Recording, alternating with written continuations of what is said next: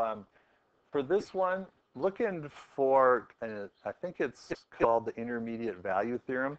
In part A, they just really want to know what h of 3 is and h of 1 is. Okay? So h of 3 is f of g of 3, and then h of 1 is f of g of 1. This is the easy part. The tougher one is, is coming up. So this one, you go g of 3. g of 3 is 4. And then f of 4 is negative 1.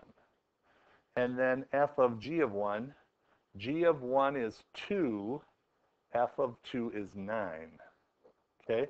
In the formula, though, they're subtracting 6 each time. So this r, h of r, needs to be somewhere between negative 7 and 3. And is negative 5 between there? Yeah. Yep, so we won that round. Uh, let's try the next round. Next one says, explain that there must be for h prime of c negative 5 between that. So in part B, what you're doing is h prime of 3 and h prime of 1. Now notice that when I take this derivative, though, it's not just f prime of g prime of 3. Wouldn't that be nice? Wouldn't that be great? But that's not the, the uh, Tootsie Pop rule. The Tootsie Pop rule says that it's f prime of g of 3 times what? g prime of 3. Same with this one. f prime of g of 1 times g prime of 1. Okay, so let's do it. Looking at the chart, uh, g of 3 is 4. Then f prime of 4 is 3. So this is going to be 3 times g prime of 3 is 2,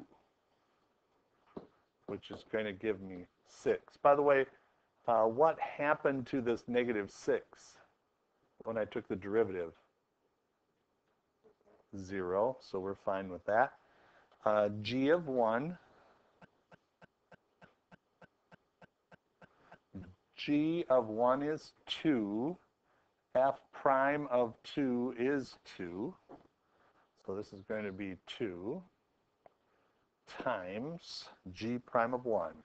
G prime of 1 is 5. Right? So this is going to be equal to, I got 6, and I got, was it 10? Wait a minute, what did I do wrong? Well, that, that seemed like it would work, but I think what they're, they're saying is that there might be something happening in between, maybe a non-differentiable part. So what they did is they went h of, let's see, h of c, h prime of c, is between h of 3 minus h of 1 over 3 minus 1. So if we did h of 3, which was negative, what is that, negative 7 minus 3 over 2. I get negative 5. And is h prime of c equal to negative 5? It's actually equal to it, so therefore it worked out. That was weird. I, I would think you do the same thing as you did here, but it didn't quite work that way. And the only way you could prove it is if you did this and it was equal to that negative 5. Uh, let w be the function here. Find the value of w prime of 3. Oh, that looks horrible, doesn't it? Looks terrible? Well, it's not.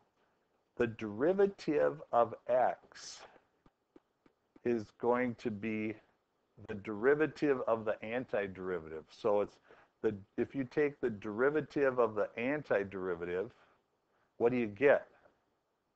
Derivative of the antiderivative of the function is just what?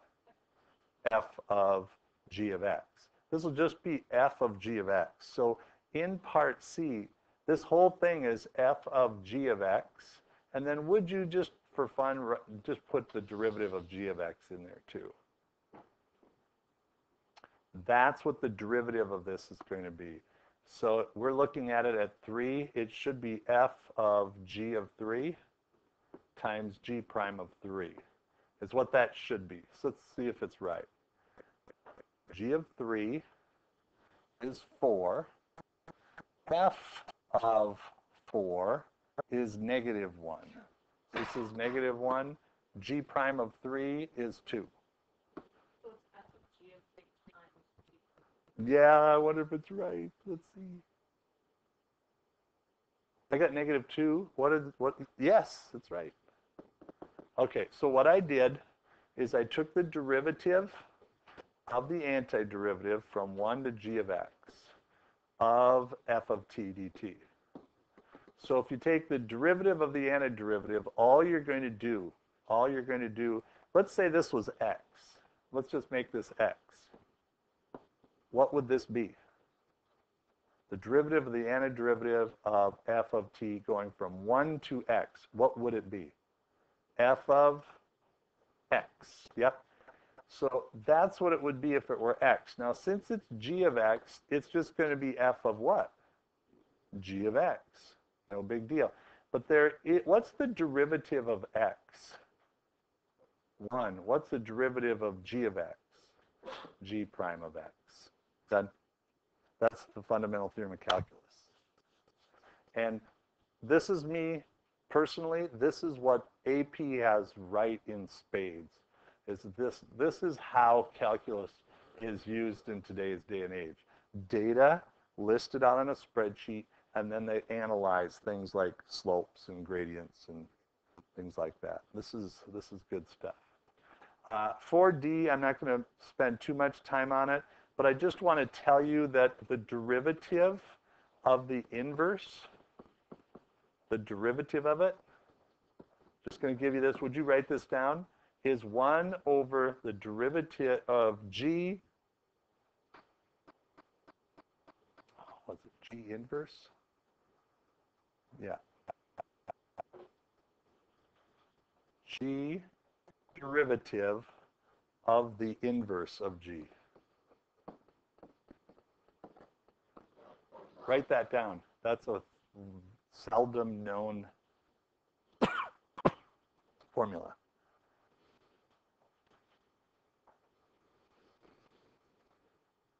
Does that look crazy? That looks like a horrible formula? It looks like there's no way it would have like the simplest of derivations, right? There's no way that uh, if I went f of f inverse of x, what's that equal to? You remember what f of f inverse is? Like the square root of x squared, what is it? x, right? So this is just x, right?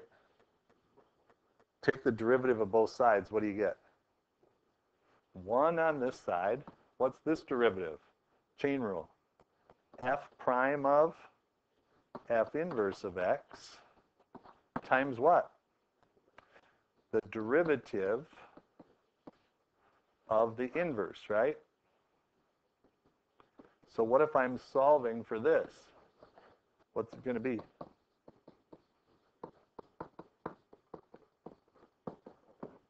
One over the derivative of f inverse of x. There, you learn something new every day.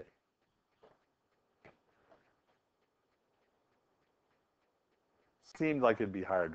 Didn't it? Didn't it?